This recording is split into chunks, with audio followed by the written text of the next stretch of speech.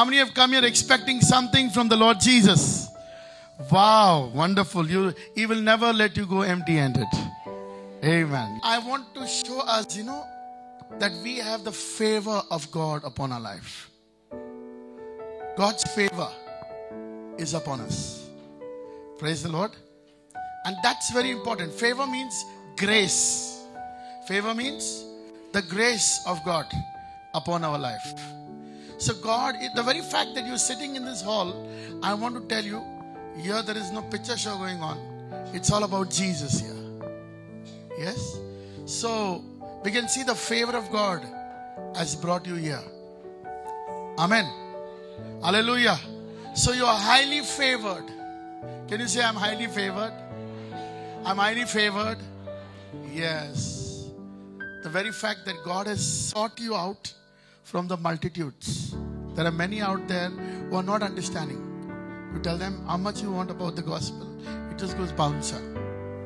Praise the Lord. But the very fact that God has opened your eyes. You see, we have not chosen God, He has chosen us. Because God is only one God. There's only one God. So there's no question of, you know, choosing. When there is two, you start choosing. Oh, God is one God. There's only one God who made you and me. What is the proof?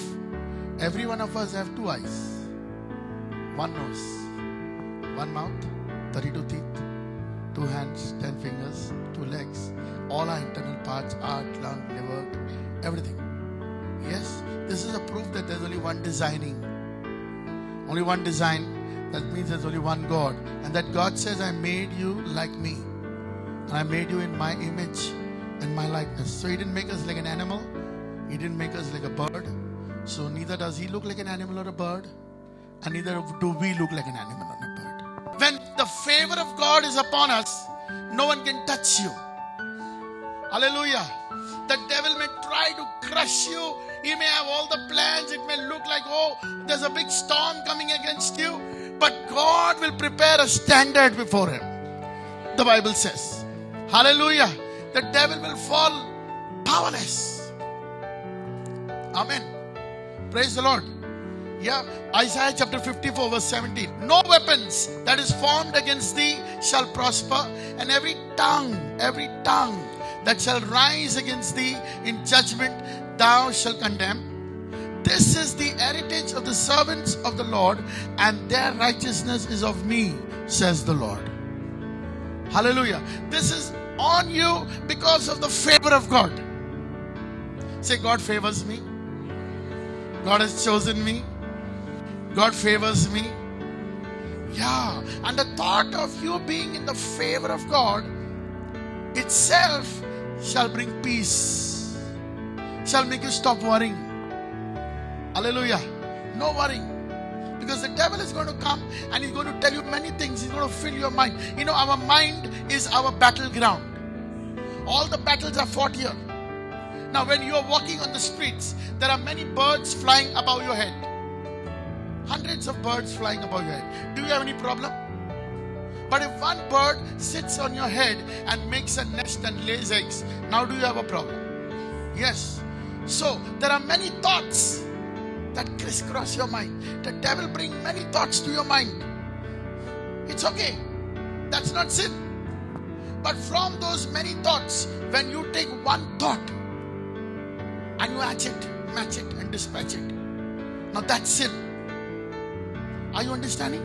From those many thoughts, you're welcoming one thought which you like. And the devil says, okay, take this one. And you're building on that. Now you're sinning. Now you're sinning. Now, we're going to read one very important chapter to you that is Deuteronomy chapter 28. I want to read to you the first verse. Yeah? In Deuteronomy chapter 28, it's all about blessings and curses. Okay? So we will read verse 1. And it shall come to pass, if thou shalt hearken diligently unto the voice of the Lord thy God, to observe and to do all his commandments which I command thee this day, that the Lord thy God will set thee on high above all nations of the earth. Yeah. Two. And all these blessings shall come on thee and overtake thee if thou shalt hearken unto the voice of the Lord thy God.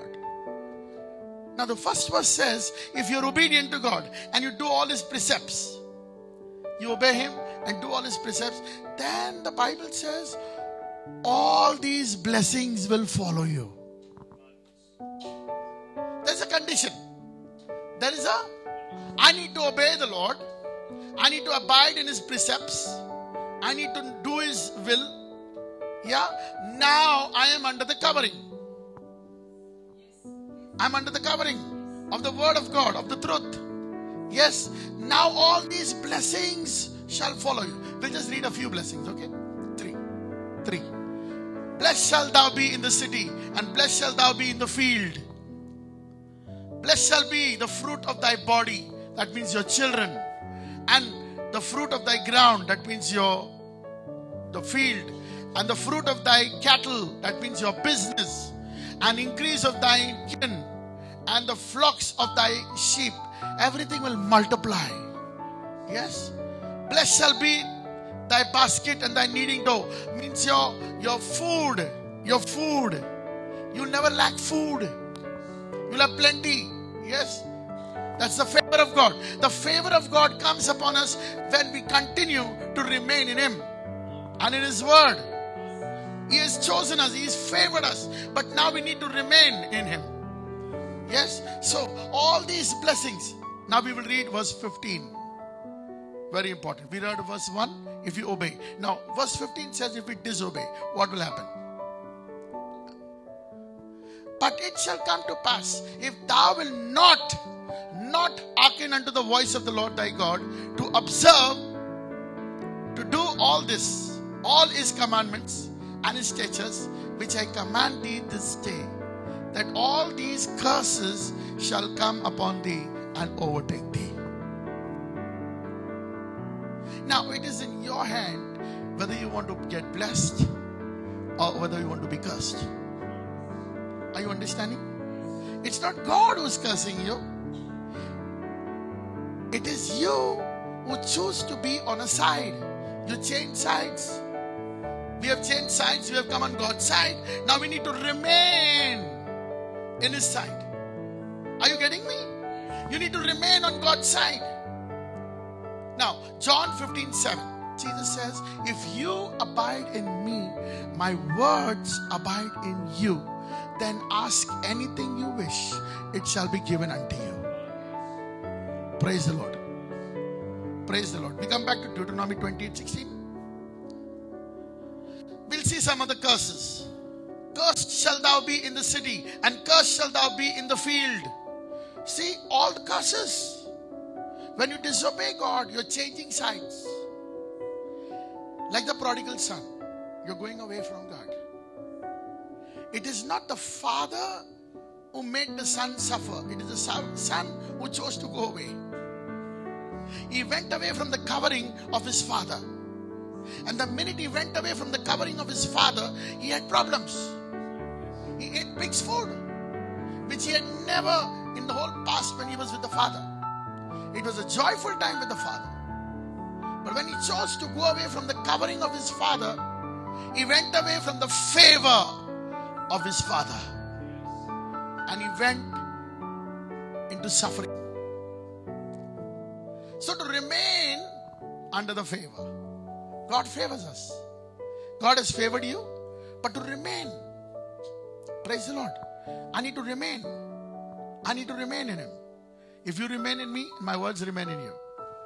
Praise the Lord. But if God has favored you, I tell you, the devil can plan what he wants against you, it will all fail.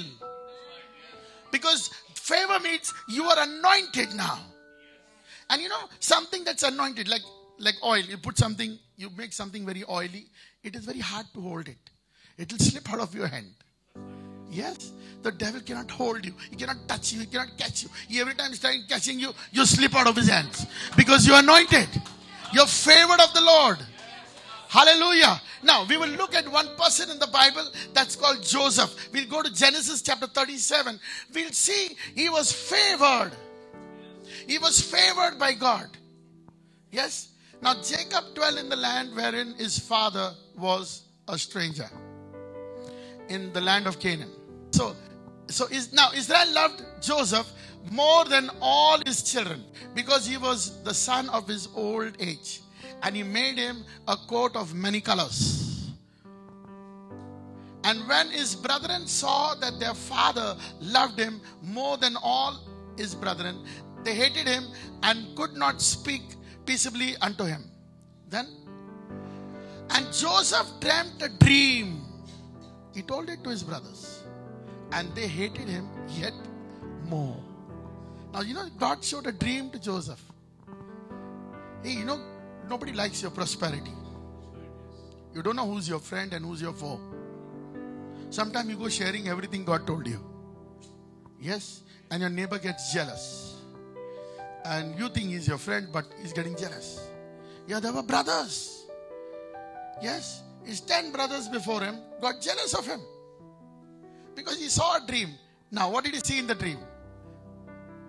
And he said unto them, Here I pray you, this dream which I have dreamt. For behold, we were binding sheaves in the field, and lo, my chef arose and also stood upright. And behold, your sheaves stood around about and made ambience to my sheaf. They bow down to my sheaf. Yeah. And his brethren said to him, Shall thou indeed reign over us? Or shall thou indeed have dominion over us? And they hated him yet the more. Now he said that, you know, in a dream I saw that my sheaves were standing and all your sheaves were bowing down to my sheaves. So they got angry. They said, okay, first they were already jealous of him because uh, Jacob loved him more than them all. Now, to add to it, he's seeing a dream where he is the champion and they're all bowing down to him. And to add to it, he saw one more dream. it became still worse. Yeah. And he dreamt yet another dream and told this to his brethren and said, Behold, I have dreamt a dream more. And behold, the sun and the moon and the eleven stars made ambience to me. And he told it to his father and his brethren. And his father rebuked him and said unto him, What is this dream that thou hast dreamt? Shall I and my thy mother and thy brethren indeed come to bow down ourselves to thee to the earth? And his brethren envied him, but his father observed the same. And his brethren went to feed his sheep. Now his brethren, now starts the story. You know what God does? He shows you your destination. He shows you your destination, the final product. Yes, but he doesn't show you the journey.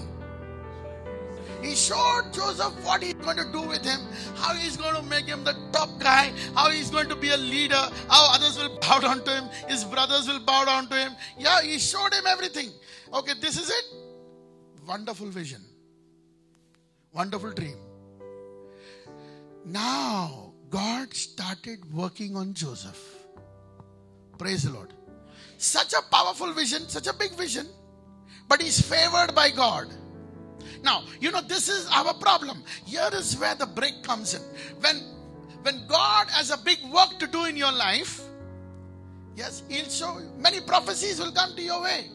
Many prophets will come and prophesy, or you will see a dream that you know reaching right on top. But uh, immediately after that, you know what happens? God takes you to the valley. Now He starts working on you. Now, I want to tell you one secret God is not preparing a blessing for you. God is not preparing a blessing for you, He's preparing you for the blessing. Hallelujah. He's preparing us for the blessing. Now, what happened to Joseph? Joseph is not ready for that big work. God has to start working on him now. God has to start preparing him now. Right now, he can't give him that. So, God is taking him through a mill. Hallelujah. Now, what are you seeing? Joseph's brothers. If you go down the story, now I'll tell you the story. Okay? He goes, is he, the brothers are gone on the field, they're taking care of the sheep, and now this Father, Jacob sends him and says, You want to go with and see your, your brothers and come and inform me how's everything going on. So he sends him. And when the ten brothers see him, they say, There's the dreamer. The dreamer has come. Let's finish him. They're jealous. They're jealous to the point they want to kill him. They want to kill him. Let's finish him. And they're on the job. They're planning what to do. And then finally, Reuben comes and says, Okay, let's not kill him. Let's throw him in the cistern. There was a big well there, dry well. So they carried him and threw him in the dry well. And what they do, they take his garment, they dip it, they cut one goat and they dip it in the blood, and they come and show the father, See, this is what we found. And the father moans and moans and moans. Now, for the father, Jacob was his father, Joseph is finished. Praise the Lord. But God is busy working on Joseph. Hallelujah. The Midianites send him to Potiphar. Now in Potiphar's house. Now wherever we see Joseph going, we see the favor of God upon him. He was like a he was like a sparkling star, shining star. Amen. Though he was in Potiphar's house, Potiphar also found favor with him. When God finds favor with you, everybody will find favor with you. Hallelujah. Potiphar found favor with him. Potiphar raised him up and made him the head of everything in the house. And then we came to know the story. Again, the devil tried to mess him up and kill him a second time. God has a plan in your life, and the devil is jealous about it. Come on, say the devil is jealous about it. Say the jealous devil is jealous about me. Come on, everybody. The je- devil is jealous about me. Yes. So second time he tried to kill him. When Potiphar's wife, because he was very handsome, she was trying to act funny with him, and he was a righteous man. So he ran away from her. So she made a big issue that he tried to act funny with him, and finally he was going to be killed again. But now Potiphar loved him, you know. So Potiphar knew that he was a righteous man, so he didn't do anything such. He put him in prison. The favor of God. Now Joseph is in prison. Now you can see the journey. And God showed Joseph the journey. Do you think he would have said, Yes, Lord? He would have said, God, I'm with my father Jacob. That's okay. I'll take care of the sheep. I don't want this big dream and this big vision. Hallelujah. So if God is favored you, God has a plan. And God's plan is not small. God says, I have a plan. Jeremiah chapter 29, verse 11. Yeah, what is God saying? I have plans. Plans not to harm you, but to prosper you, to give you a future, and to give you a hope. So you can imagine the plan. If God has a plan for you, you think it is small? Look at the things He made. They are not small. Yes, the sun, the moon, the stars, the mountains, the valleys, they're not small. So God is not small. And God's plans for you are not small. Praise the Lord. You know, the plan for Joseph was very big. The plans which God had for Joseph to make him the prime minister of Egypt. Come on. Come on, say prime minister. Yes, to make him the prime minister of Egypt. Praise the Lord. But here he is going through another mill. Yes, God is preparing him. God is preparing him for that post. Hallelujah. So everything that comes our way, all the hard things that come our way, God is only preparing you for that big vision which He has planned for you. Hallelujah. That's what the Bible says. Give thanks to God in all circumstances. For this is the will of God for you in Christ Jesus. Praise the Lord. Hallelujah. The devil is trying to tell you you are forgotten. God has forgotten you. No. God is preparing you. Many want to get married, but you're not prepared for your husband. Hello? Are you understanding? God has to prepare you. We want many things, but God will not give it to you because you're not ready. This is my son, Abednego. When he was very small, he had a video game. You know, he used to play video games. So he used to play on a, on a tab. He used to play driving the car. Yeah. So one day he told me, Dada, sit next to me. See how I'm driving the car without accident. Very well he drove it. Then level two. See how fast I'm going. Shh. Not one accident. Very good. Very nice. How I can drive car? I said yes. Now give me your key of your car. Now you did, you did think I should give him the key? He's not ready. Are you understanding? He's not of age. He's not ready. So I'm going to prepare him. We're going to work on him. Hallelujah. Till he gets the car. He will be given the car. He will be given teach taught to drive. Yes, but he's not ready now. Praise the Lord. Many times we say, God, how long shall I wait? And God says, Wait. I know when to give it to you. Praise the Lord. Because if I give it to you now, you'll mess it up. You'll mess up with it. Praise the Lord. You know, many times hastily we go and jump into things before God, before time, and we mess up everything for ourselves. And then we come back on track and say, Okay, Lord, I'm in the line now. And God says, Okay, you got it. Hallelujah. Hey, so God loves you. God loves me. Amen. In the life of Joseph, now he is in the prison. But when he is in the prison, there also the, he became the prisoner. He became the jailer. He became the head. Amen. He was respected. Why? Because the favor of God was upon him. When the angel of the Lord came to Mary, what did he say? Hail Mary, full of grace, the Lord is with you, and God has favored you. From the whole world, God has favored you, and He's going to send a son, Jesus is going to be born. The Messiah is going to be born. Jesus means He will save His people from their sins. Wow, what a privilege! What a privilege! God has favored you. The favor of God. Come on, say, the favor of God is upon my life. The favor of God is upon my life. Don't look at your problem. Just know that, oh, this is all God is preparing me for my big vision to attain what He has, prom- what he has planned for me. Hallelujah. Come on. Now you can see if Joseph was in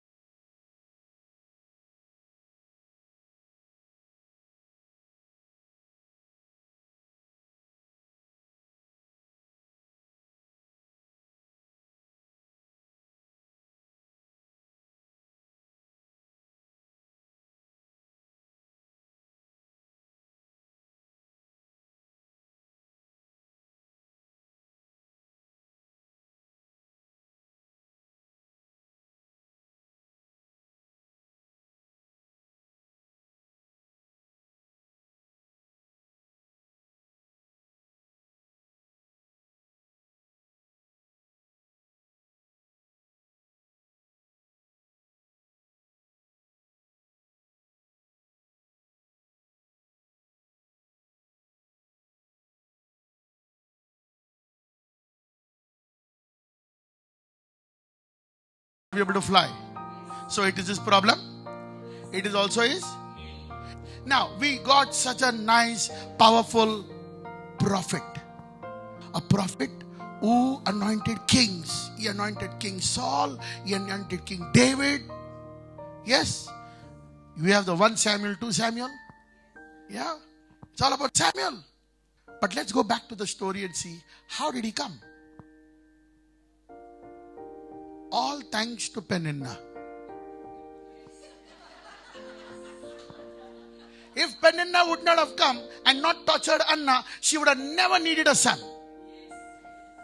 Look what the torture can get. Look what the suffering gets. Hallelujah. She tortured her, she tortured her, she tortured her until she got a need. I need a son. The shame needs to get away from me. And she got a son. And we got a prophet.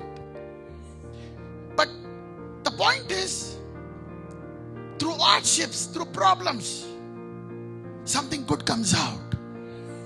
We fail to see that. We fail to see that. Yes? So it is the tough times that are making you, not the good times. Now, I want to tell you if you are a Christian, then surely God will keep Penina next to you.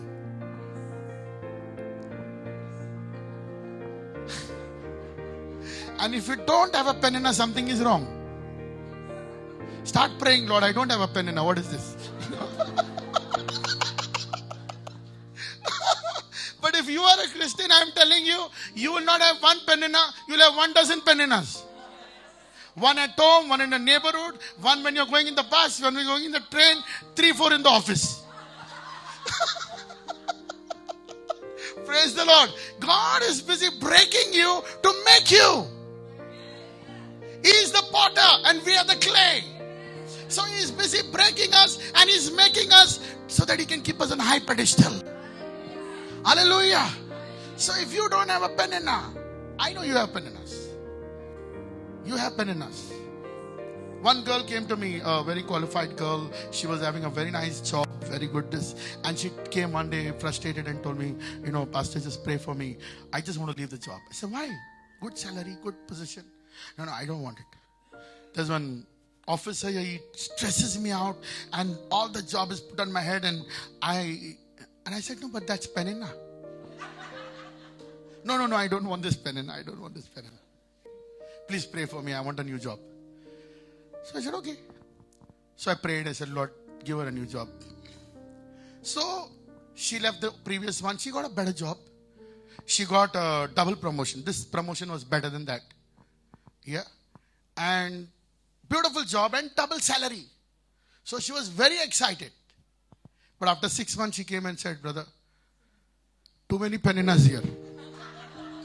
Six to seven peninas. I said, God doubled up everything. Yeah, He doubled up your salary, He doubled up your position, and He doubled up your peninas also. If God is after you, where you'll run? The earth is round. If you run from here, he turns and waits. You know he's going to come from here. Then you come, oh, again you run. He says, okay, now he's coming from here. You cannot run away from God. Hallelujah. God has chosen you and He wants to train you. He wants to break you. He wants to melt you. He wants to mold you. And He wants to make you what He has in mind. Hallelujah. Praise the Lord. So all we are left with is give thanks to God in all circumstances. Say, Lord, I know you have a plan. I'm going through it. I know, I know, I know. You have a plan to make me the prime minister. Hallelujah. You have a plan to take me right on top. Amen. Praise the Lord. Today, look at your penina and go and give her a nice gift. She'll be shocked.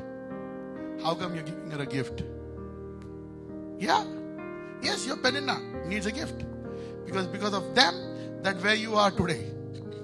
So the Lord's favor is upon you. The Lord's favor is upon us. The devil may try to crush you, but he cannot do it. It is finished with him. Hallelujah. Jesus said, Forget the devil, it is finished. Tetelestai. But the devil, it's over. Don't give glory to the devil. Our the devil, it's made to praise God. Hallelujah. Don't look at what the devil is doing, look what the Lord has done. Amen. Last, last week I was teaching you Psalms 23. If you look at Psalms 23 from verse 1 to 5, David is looking at the past. And what is he seeing? He's seeing how the Lord was with him everywhere. He doesn't see how the devil was with him. He says how the Lord was with him. How Samuel came and anointed him. So he writes, He Anoint my head with oil. Right? He saw how Saul was after him to kill him. And he says, Even in the valley of the shadow of death, even in the valley of, even in the valley of, come on, say, even in the valley of shadow of death, even in the valley of, when do you see a shadow? When there's light. Are you understanding? A shadow comes only when there's a light. The very fact that it says shadow means the Lord is with you. The light is with you. Hallelujah. In the valley of shadow of death, it's just a shadow. Imagine that shadow is seen because the light is with you. The light is in you. Amen. He, will, he said, I will never leave you. I will never forsake you. I will be with you till the end of time. God is doing something big in your life. Come on, say, God is doing something very big in my life. He never sleeps, He never slumbers, He never dies of hearing our prayers. When we are weak, He becomes stronger. So rest in His love and cast all of your cares on Him. Yes, our God doesn't sleep, He doesn't slumber. Hallelujah. He doesn't sleep, He doesn't slumber. He's not tired of hearing our prayers. Yes, He loves you, He loves me. Amen. So when David looked behind, he looked at what the Lord has done. How God restored him. How God kept him on the paths of righteousness. There were two, two chances when he got to kill Saul, and he did not do it. So he says, He leads me in the paths of righteousness for his name's sake. Yes. And till verse 5, he sees what the Lord has done at the past.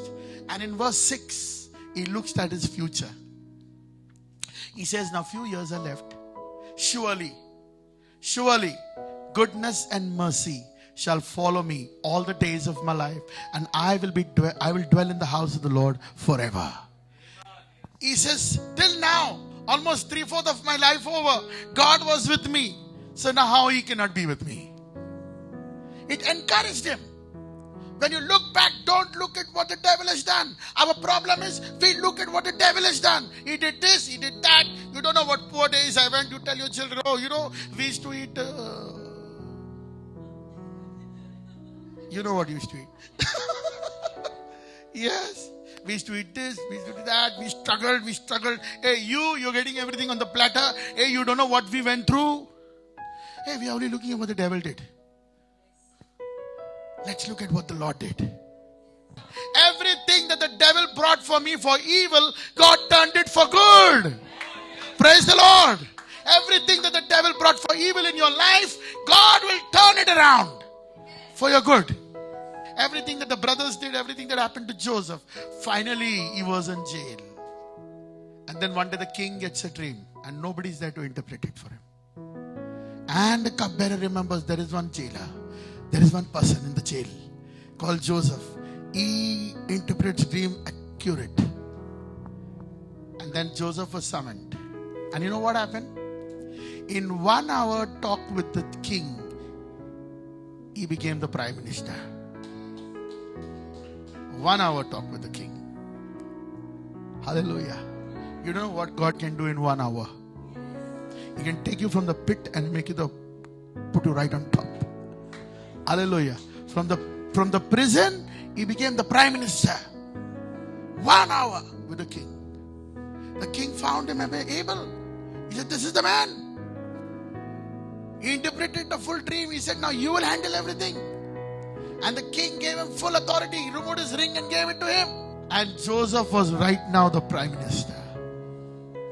Hallelujah. The favor of God was on Joseph. He went through the entire mill, but he was promoted. God has a plan in your life. Don't look at your problems as a big problem. Your problem is not a problem. God is preparing you. Hallelujah. Don't give the devil the glory. in your mouth there should always be praise be to the Lord. God is in action. Amen. God is doing something. He's building you up. Jesus says, I am the bread of life. And I want to draw your attention to how a bread is made. The wheat, the wheat is sent through a mill. Between two stones, it is crushed and made powder. If you can talk to that wheat, he will tell you a sad story. Yes, powdered. And then, not finished. Now it comes into your hands, and now you give it nice boxing and make it a dough. Yes, then, tack, tack, you break it into pieces, and now you get your lakni out. You know, sapta karo isko. Come on. Then you are making it flat. Not finished. Now you're getting the tawa ready. You know. Praise the Lord. Now you're putting it on the tawa. This, that, that, tick, that, too. Finished, ready. Now 32 teeth he has to face.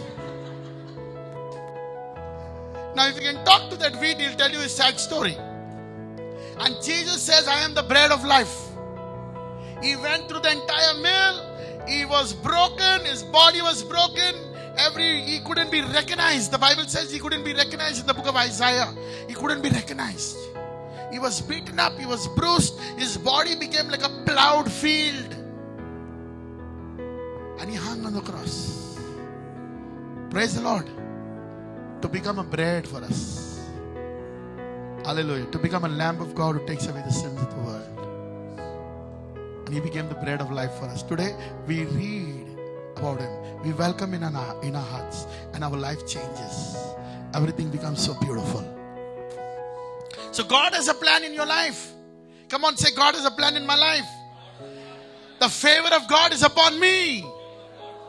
Hallelujah. Say, I'm not ordinary. I'm a chosen generation. I'm a royal priesthood. I'm a holy nation. God is preparing me. Hallelujah. He's preparing my hands for battle. My arms will bend above bronze, the Bible says. Hallelujah.